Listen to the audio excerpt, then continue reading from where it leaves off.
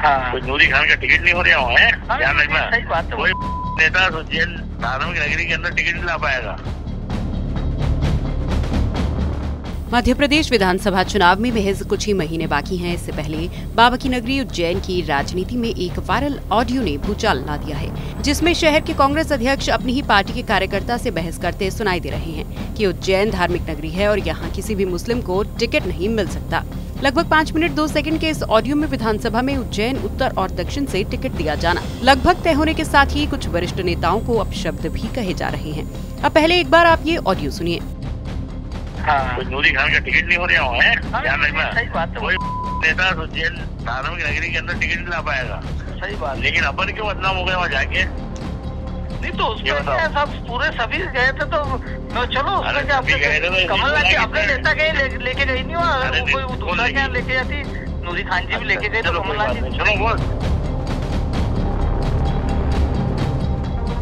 जब ये audio viral हुआ तो कांग्रेस शहर अध्यक्ष रवि भदौरिया ने इसे फर्जी करार दिया है। वहीं इस मामले को महिला कांग्रेस नेता नूरी खान पार्टी फोरम पर रखने की बात कर रही हैं।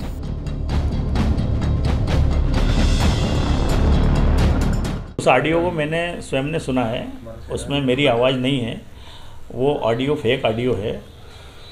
कुछ षडंतकारियों द्वारा वो ऑडियो बना के उसको फेक ऑडियो को जारी किया गया है। आने वाले समय में कांग्रेस की सरकार आने वाली है।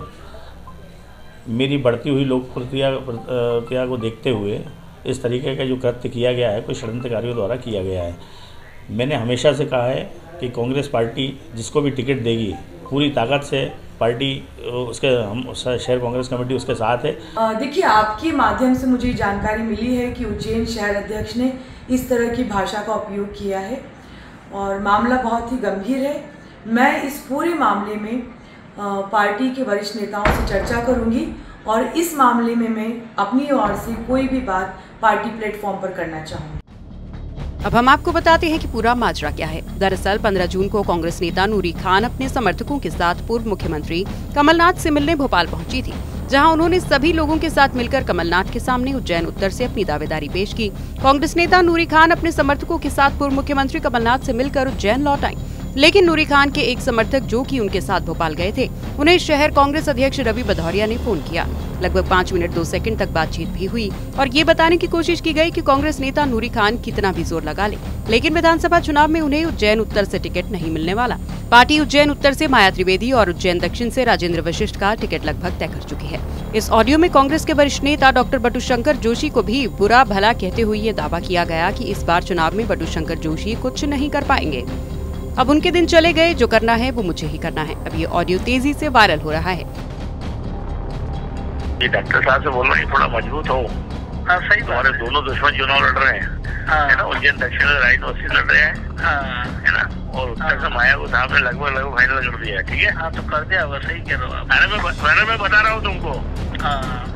आप उसको सिर्फ़ मैं ही काट सकता हूँ। इसलिए बस तो उसके लिए- बाल भी उखाड़ दे उसके लिए क्या करना है ये बताओ आप तो उसको कैसे काट दोगे? ये बताओ मैं कि क्या उसके लिए मैं क्या करूँ बस। लेकिन गलत गलत जगह एनर्जी क्यों वेस्ट कर रहे हो? वो एनर्जी गलत चीज़ वेस्ट करी तुमने। डॉक्टर की औकात है ना जो? हाँ।